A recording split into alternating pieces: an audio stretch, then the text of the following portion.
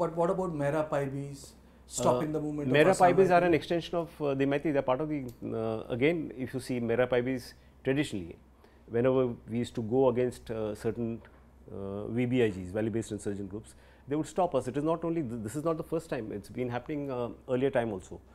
Now it uh, so happened, uh, whenever we would go and try and stop violence between both the groups, we would be blockaded, cut off, uh, and then all hell would break loose. Now, since you asked about this question, let, let, me, let me come to uh, a particular incident. If I recollect, this happened uh, immediately after the uh, Home Minister's visit, which was end May, early June. A few days after that, uh, there was this column of ours which was blocked by the Meira Paibis.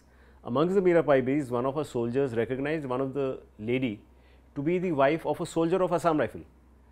And uh, it so happened, the husband's post, operating post, was just 10 kilometers down the road, and this column was going to supply logistics or give logistic cover uh, to that particular post.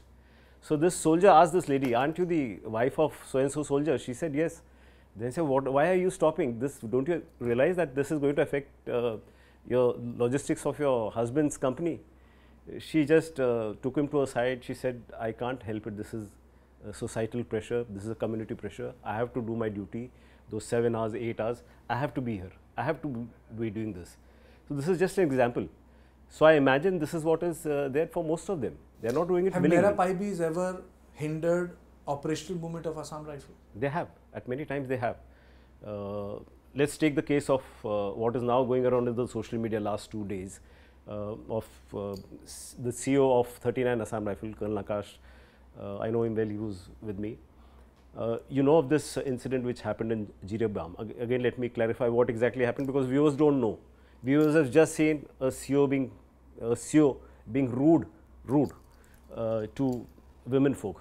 Now, all videos have only a, a select part.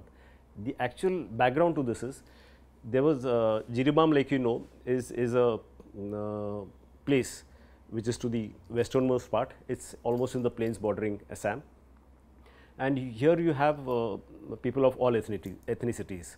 Uh, for example, Meiteis are close to 35, 38 percent. Uh, Kukis are just about 8 to 9 percent. Rest are all uh, all over.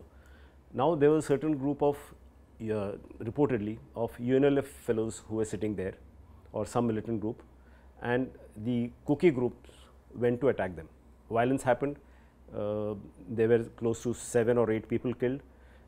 Whatever I have learnt is about 4, 3 or 4 Kukis got killed and maybe 1 or 2 Meiteis got killed and 1 or 2 innocents.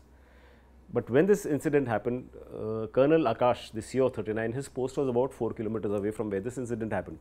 So, he was heading towards the site where this has happened and obviously, uh, one of the factions would have told the Meira Paibis to stop him. So, he was stopped. Uh, it so happened he used to be passing on this road very regularly. He knew some of these women very well. So, initially it, it was in a very light mood that he started conversing with them. But uh, they got pretty offensive and as you would have noticed uh, in the video, uh, one or two of them were actually pushing a CO. Now, you tell me in which country does this happen? A colonel rank, a senior officer of colonel, a commanding officer of a unit getting heckled, uh, getting pushed by women. Uh, imagine something like this happening in any other country. Democracy.